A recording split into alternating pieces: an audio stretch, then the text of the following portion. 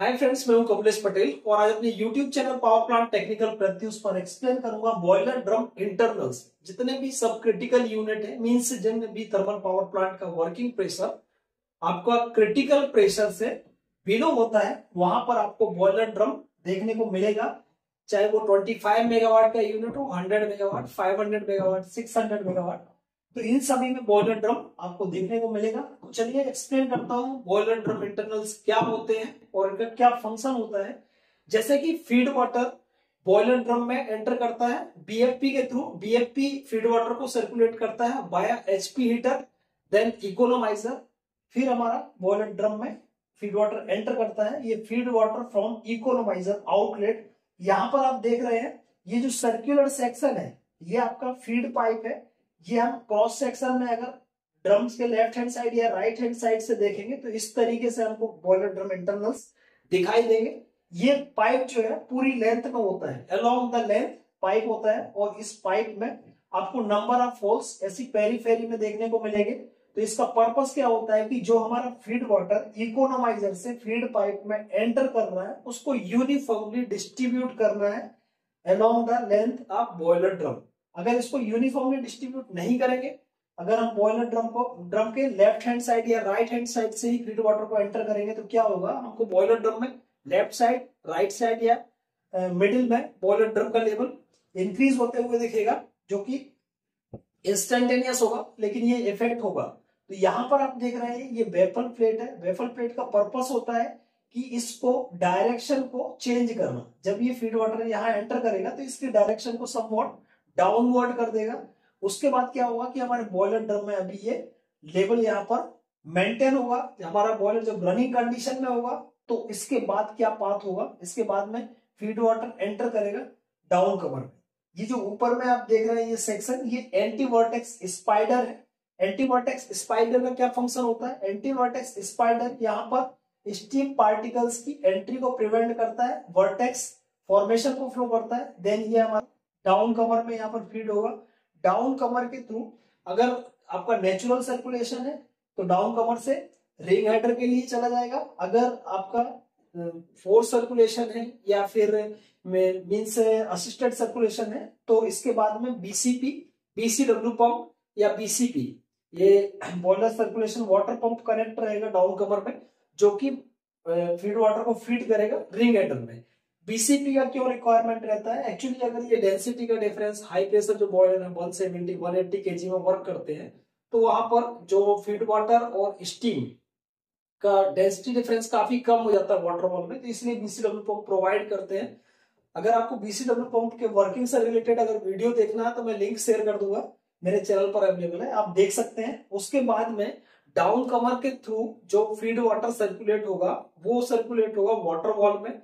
Water wall heat absorb करता है। हमारे फर्नेस के अंदर जो कंबसन हो रहा है कोल का जो कंबसन हो रहा है, उससे हीट एब्जॉर्ब करेगा और वाटर वॉल में आपका स्टीम वाटर मिक्सचर फॉर्म होगा, जो कि वाटर बॉल में अपवर्ड डायरेक्शन में मूव करेगा।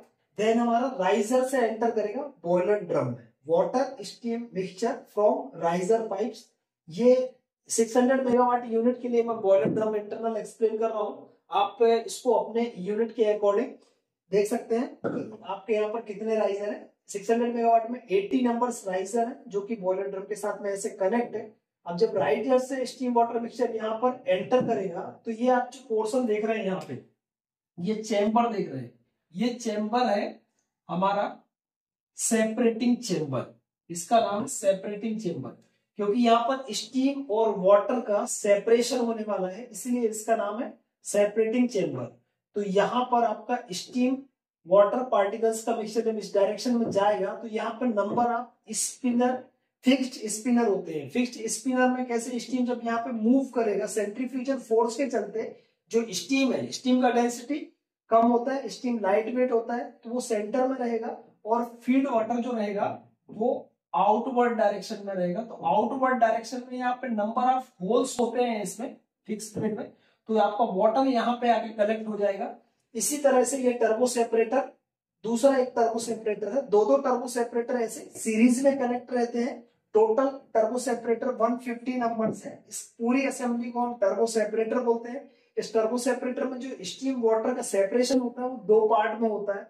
आप यहाँ पे देख रहे हैं, ये प्राइमरी सेपरेशन है। जो मैंने अभी आपको एक्सप्लेन किया यहाँ पर सेंट्रीफ्यूजल फोर्स के चलते यहाँ पर number of spinner fixed blade होती हैं। तो ये प्राइमरी सेपरेशन है। जब स्टीम ऊपर की तरफ़ मूव करेगा तो सेकेंडरी सेपरेशन ये टॉप टॉप पोर्शन में होता है। यहाँ पर क्या होता है? ये स्क्रबर होते हैं। नंबर ऑफ़ स्क्रबर यहाँ पर माउंटेड रहते हैं। जब स्टीम यहाँ से पास करेगा तो उसमें जो वाटर पार्टिकल्स है, उनका सेपरेशन हो जाएगा। तो यहाँ तक हमने देखा कि स्टीम वाटर मिक्सचर का टू टाइम्स यहाँ पर सेपरेशन हुआ। एक प्राइमरी सेपरेशन सेंट्रीफ्यूगल फोर्स के चलते, दूसरा हमारा जो सेपरेशन हुआ, वो ड्यू टू स्क्रबर के शेप के चलते हुआ ये काफ़ी डेंस शेप होता है। जब स्टीम हमारा अपवर्ड डायरेक्शन में मूव करेगा तो ये screen dryer number of screen dryer series में अलोंग द लेंथ कनेक्ट रहते हैं। इनका जो शेप होता है मेटल का, ये जो आप देख रहे हैं स्क्रीन टाइप का, ये कॉरुगेटेड कॉरुगेटेड सेप होता है। इस तरीके से जिग होता है। तो जब स्टीम इसमें से पास करेगा, इस स्क्रीन ड्रायर को हम एलिमिनेटर भी बोलते हैं। तो ये मॉइस्चर को एलिमिनेट कर देता है। और यहाँ से पास करता है ड्राई स्टीम। ड्राई स्टीम इसके बाद में सुपर हीटर के लिए पास हो जाता है। सुपर हीटर के लिए यहाँ पर सुपर हीटर सेक्शन में एंटर करता है सेचुरेशन लिंक के थ्रू। अभी देखिए, और क्या क्या कनेक्शन होते हैं हमारे बॉयलर ड्रम में? बॉयलर ड्रम में सैंपलिंग लाइन का कनेक्शन होता है। सैंपलिंग लाइन के थ्रू हम फ़ीड वाटर, बॉयलर ड्रम का जो फ़ीड वाटर है उसका सैंपल लेते हैं। तो उसमें पीएच चेक करना या फिर जो सिलिका कंटेंट है उसको चेक करना। इन सैंपल के थ्रू करते हैं। या आप देख रहे हैं दूसरा कनेक्शन है यहाँ पर टीएसपी डोजिंग लाइन टीएसपी क्या होता है? ट्राई सोडियम फॉस्फेट इसको हाई प्रेशर डोजिंग या इन शॉर्ट हम इसको एचपी डोजिंग भी बोलते हैं। तो बॉयलर ड्रम के अंदर जो सिलिका है फ़ीड वाटर में, जो एक्टिव सिलिका रिएक्टिव सिलिका तो उसके लिए हम टीएसपी का डोजिंग करते हैं और टीएसपी से रिएक्ट करके इस स्लज के फॉर्म में यहाँ पर कनेक्ट कनेक्ट हो जाता है बॉटम में। तो यहाँ पर ये बॉटम में आप देख रहे हैं सीबीटी का कनेक्शन है। जब कभी अगर यहाँ पर सिलिका का लेवल 100 पीपीबी से इंक्रीज कर जाता है तो हम यहाँ पर सीबीटी ओपन करते हैं, जिससे स्लज के फॉर्म में सिलिका यहाँ से रिमूव हो जाएगा और सिलिका हमारा कंट्रोल हो जाता है due to HP dosing and CBD और ये लाइन आपका ईबीडी e का लाइन है, इसको इमरजेंसी प्रोडाउन बोलते हैं। सीबीडी का लाइन जो है वो बॉटम मोस्ट पॉइंट से कनेक्ट है और ईबीडी का लाइन समवट हाइट से कनेक्ट है यहाँ पर। तो इमरजेंसी ब्लोडाउन जब कभी बॉयलर ड्रम अगर कंट्रोल नहीं हो रहा है ड्यूरिंग स्टार्टअप या ड्यूरिंग इमरजेंसी तो ईबीडी e को ओपन करके हम बॉयलर ड्रम को कंट्रोल करते हैं। आप यहाँ पर देख रहे हैं, ये मैंने 185 mm ये बॉयलर ड्रम मेटल का थिकनेस है, ये बॉयलर ड्रम का थिकनेस है 185 mm और ये सेफ्टी वॉल्व माउंटेड है। तो 600 मेगावाट यूनिट में सिक्स सेफ्टी वॉल्व दिए हुए हैं, जो बॉयलर ड्रम के साथ डायरेक्ट कनेक्ट है। थ्री नंबर जो है लेफ़्ट हैंड साइड है और थ्री आपका राइट हैंड साइड है। तो ये प्रेशर गेज है। बॉयलर ड्रम में दोनों साइड में आपका गेज ग्लास है, जो कि बॉयलर ड्रम के लेवल को चेक करने के लिए फ़ील्ड में चेक करने के लिए कि आपका कितना लेवल है। आज मैंने आपको ये बॉयलर ड्रम इंटरनल्स का पूरा वीडियो एक्सप्लेन किया। अगर वीडियो आपको अच्छा लगा हो तो वीडियो को लाइक करें चैनल को सब्सक्राइब करें और ज़्यादा से ज़्यादा शेयर करें। Thank you